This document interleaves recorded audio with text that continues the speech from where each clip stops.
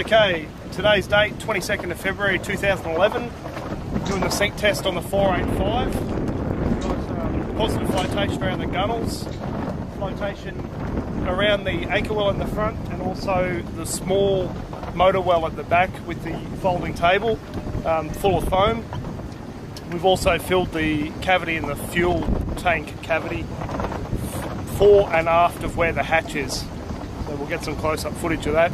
And the boat at the moment we've got simulated weight of 120 kilos for the engine and simulated weight for four people. So we'll see how it goes. So we've got the foam in the back of the fuel tank cavity and also in the front of the fuel tank cavity. The well at the back is full of foam. Both sides full of foam. Of course all underneath the floor is full of foam. That's standard.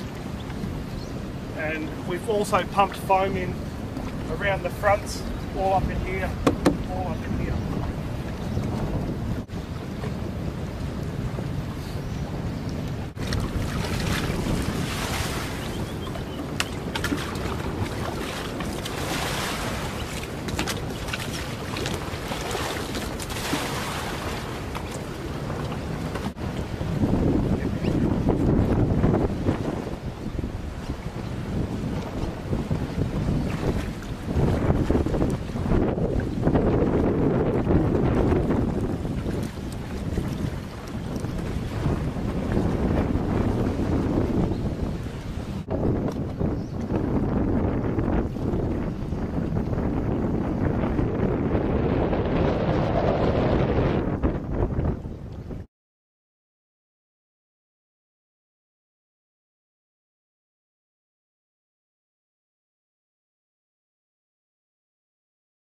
Okay, so the bug's out of, the, out of the boat here and it's floating on its own accord. Um, there's two ropes holding it back to the pontoon, so we're not actually holding it up. You can see there, both ropes are slack.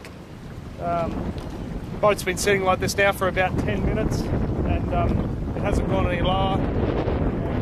It certainly seems to be swamped to where it wants to sit by itself. So it looks like that's fairly successful. Fairly stable when you get in and walk around too. So that one's a, um, a pass.